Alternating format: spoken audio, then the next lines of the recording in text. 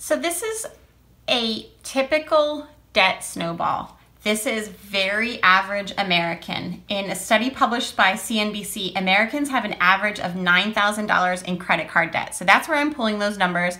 And the $270 a month would be the minimum payment. In 2018, the average college graduate left school with $29,800 in student loans. Um, the average car, new car in America is $38,232 with a minimum mon- monthly payment of $531. So these are really average numbers for America. And the grand total of this hypothetical family is $78,332 with a minimum payment every month of $1,257, which really might not sound like a lot of money to you. Even when we when, when I showed you my example from 10 years ago, we probably could have covered that um, per month, and that was not making a lot of money every year, probably less than the national average.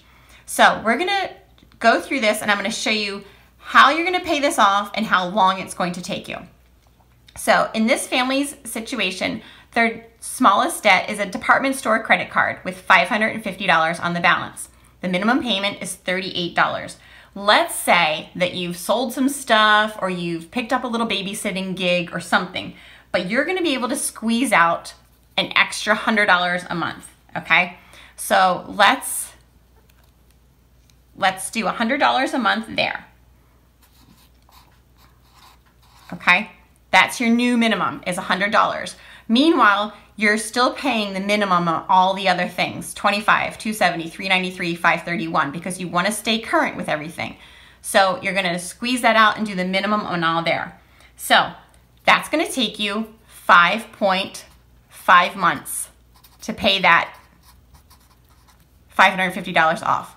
Now 5 5.5 months later your cell phone is not still at $750 it's now down to $612 okay so you were already paying that $100. So you're going to keep on that pace of $100 plus that 25. So now your new minimum payment is $125. At that rate, you're going to have that $612 paid off in about five months. So now you're 10 and a half months into your debt snowball. This $9,000 is now down to 6,000 165.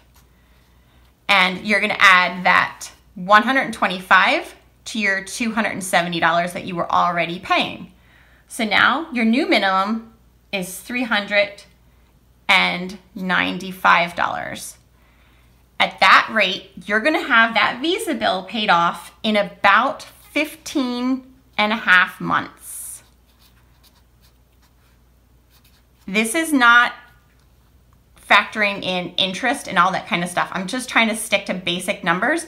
And if that number scares you, 15 and a half months, you are also assuming that you're not going to get any raises or be adding anything into it. So let's say you get a tax refund or you get a bonus at work, you're going to be so gazelle intense that you're going to be throwing money at this stuff. So when I show you the grand total of how long it's going to take this hypothetical family, you could probably do it much faster because you're going to be really intent on where your money is going.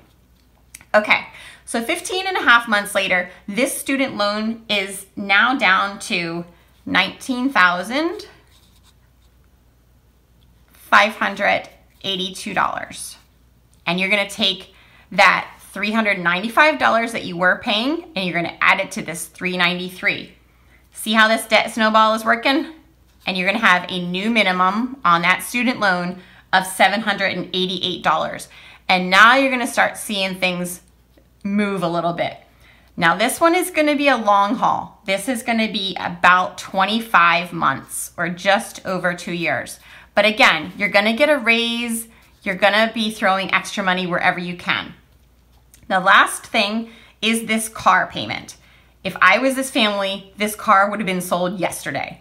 But let's assume they love the car and they wanted to keep it. So at this point, you're now 51 months into your debt snowball. So this car payment is actually now down to $11,000 $11,151. So again, we're gonna move over here. We're gonna take that $788 a month that we were paying on that student loan. We're gonna roll it down into this car payment for a new total on that car. You're gonna be paying $1,319 a month. And that's gonna take you about eight and a half months to get that car paid off. For a grand total of 59.5 months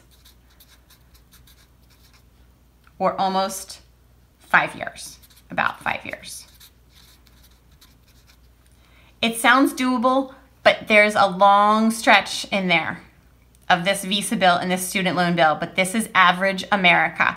So if these are the numbers that you're dealing with, just hang tight and, you know, pick up any kind of side hustles or jobs that you can do. But this $1,257 a month that you were just probably paying and scraping by to pay, if you ever did the math,